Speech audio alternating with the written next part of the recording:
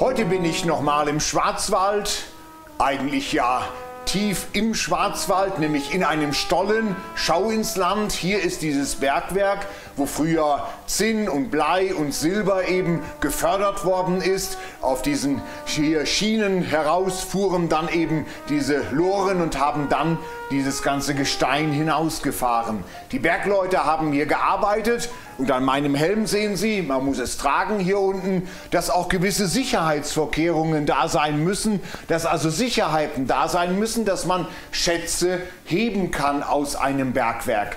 Aber auch wir als Kirche oder wir als religiöse Menschen heben ja letzten Endes Schätze. Jeder Mensch hat seine Schätze, hat seine inneren Werte und Talente, seine Fähigkeiten, seine Schätze und die muss man heben, wie bei so einem Bergwerk eben auch. Und man muss auch gewisse Sicherheiten einbauen, dass nicht einfach der Schatz gehoben wird, vielleicht einfach dann auch gar nicht zur Geltung kommt, gar nicht genutzt werden kann oder dass auch Falsches gehoben wird. Man muss gewisse Dinge auch im Blick haben. Wie in einem Bergwerk, wie in einem Stollen, so muss man das natürlich auch, wenn man religiös Schätze heben will.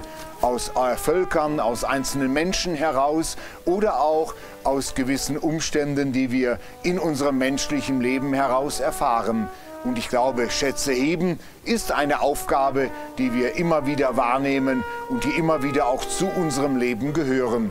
Darüber sich mal Gedanken zu machen, vielleicht heute mal an diesem Tag diese Zeit dafür zu nutzen.